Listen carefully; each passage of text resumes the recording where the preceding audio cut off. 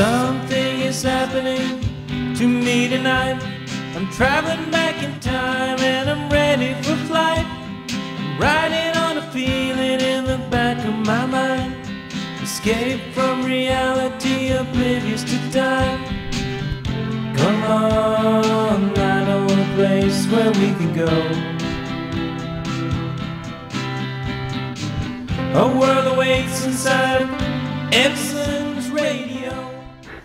Okay, so I'm out here in the shallow water in a lake swimming area. It's Mother's Day, so I'm getting to metal detect. I did get to spend some fun time with my kiddos, but now it's mommy time, and I'm hunting in this swimming hole area. It's very windy, so I don't even know if you can hear me. I have my headphones on, and uh, I've got the AT Pro with the large coil. I probably should have used the smaller coil for the swimming area, but I've got two really good finds. I didn't want to show them out with so many people out. Um, I haven't checked them out really well yet uh, to see the markings, but I can't wait to check it out.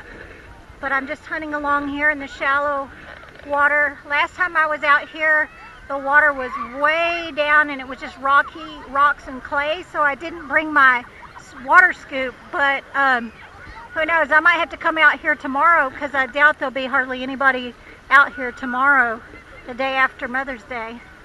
Anyway, um, I'll get back with you if I find anything good. Thanks for watching.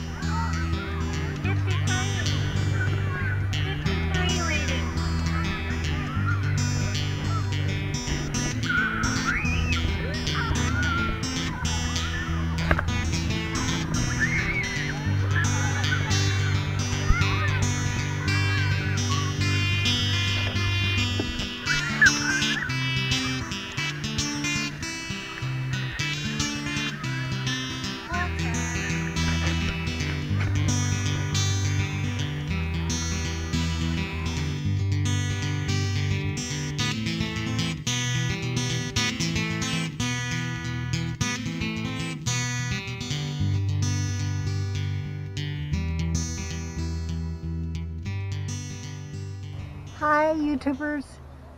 Um, I got to get out yesterday to a local uh, swimming area at a lake and it was Mother's Day so happy Mother's Day to me. I got two rings uh, that I found yesterday and then um, after work today I got off early and went back out today because I figured there would be less people and there was less people and I got one more ring so I'm super excited about that.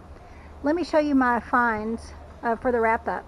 So here are my finds. Um, there are a few of these coins that I got uh, earlier uh, last week. I went and hunted um, at the river and uh, got a few of the coins at the river, but the rest I got at the lake swimming area and uh, several quarters, dimes, three nickels, pennies, and then the rings, which I'll show you in just a second. And then I got this cute little, it's a little metal army helicopter. The um, top part isn't, the propeller part is not metal, but the rest of it is metal. And then this nice little cog here. And shotgun shell, little fossil. But for the good stuff, um, I got my very first tungsten ring. So I was really excited about that. Those things do have some weight to it. It does have the markings in it. Tungsten carbide um, it looks like it has a jewelry, uh, jeweler's mark in there with like a diamond ring etched in there. And then it says something. I can't quite make it all out. But anyway, I was super excited about my very first tungsten ring. Then um, yesterday on Mother's Day, I got this very pretty um, channel set stone ring. It does say 925 copyright symbol um, EC inside. So I looked up the EC and the EC, EC stands for European Community, which um, I live in Texas, so uh, I didn't know what they, I'd never ran across uh, a ring or a piece of jewelry that was stamped with the EC. So uh, when I looked it up, uh, EC stands for the European um, Community, which is part of the European uh, in order for it to be uh, stamped 925 it it has to go through their um, how do I word it um, their regulations uh, when they stamped, so it met their regulations for the 925 apparently. And I'm not sure if these stones are real. Usually when you find silver uh, the stones aren't always, usually uh, your fine diamond stones are set in a, um, are set in like white gold or platinum, not, not usually in silver, but I don't have a diamond tester. I'm going to go ahead and order one soon. I've always had friends that live near me that were um, always I could uh, test the diamonds, the stones with. But the very first ring that I ever found um, over, it's been when I very first started metal detecting and I very first got my first water machine and I was metal detecting in the Gulf um, in a popular beach area.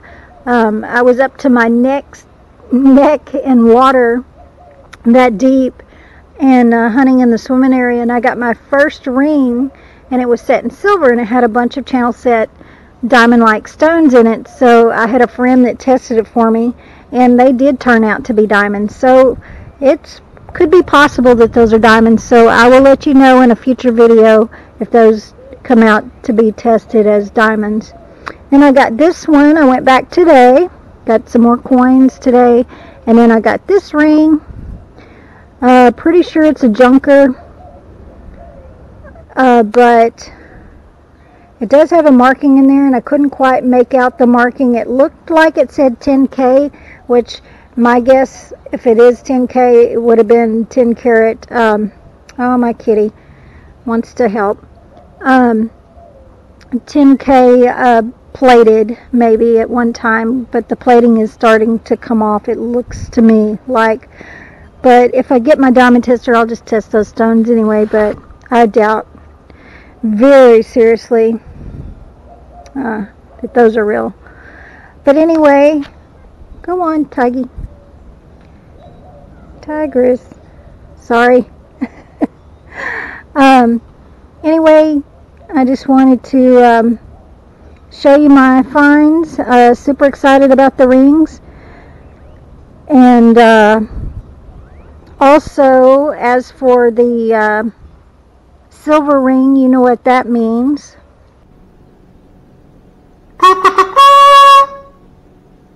Silver. Anyway, thanks for uh, thanks for watching and happy hunting and please like and subscribe. Thank you very much.